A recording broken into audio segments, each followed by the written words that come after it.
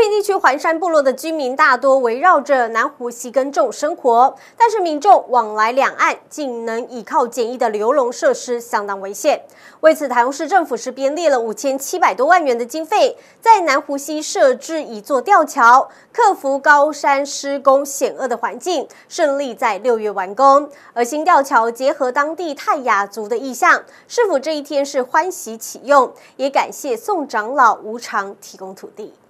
我们开始做规划设计。接着，局长陈大田向市长卢秀燕以及与会贵宾进行工程简报，说明这一座跨越南湖溪的行建吊桥施工时的情形，克服高空深山以及深谷等挑战，还要面对气候不稳等因素，终于在今年六月顺利完工，让居民有平安回家的路。因为啊吊桥的新建极为困难，所以我们当初有几个目标哈。第一个目标呢，希望朝百年来使用设计哈。第二个，因为要交给地方区公所来维养，所以我们尽量在呃呃维养方面让他们比较容易。那第三个呢，我们要符合当地的景观，因为这边是泰雅族人主要的聚集地啊。那所以呢，它本身桥梁的设计希望能够有泰雅那这个原住民的意象。很方便，对对面的或是呃走，反经过那边，嗯，去水源头啦，果园都非常的嗯方便，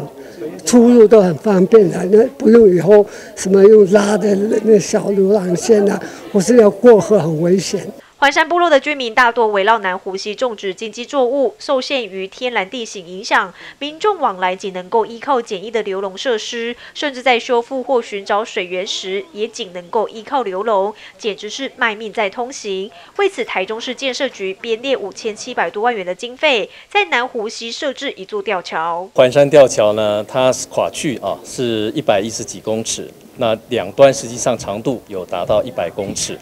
那它本身宽度可以提供三点二公尺这样的一个行走宽度。那这座吊桥在试作的时候非常的艰辛哦，因为它垮在南湖溪的上方，那高层差非常的大。那又有溪谷哦，所以它必须有一条非常长的便道哦，来做它的机具材料的运输。新设置的吊桥不仅考量后续工所维养方便，因此采用耐用材质，同时融入当地泰雅族部落的独特元素，命名为环山吊桥。师傅欢欣启用的同时，也感谢当地宋长老无偿提供土地，守护往南农友的安全。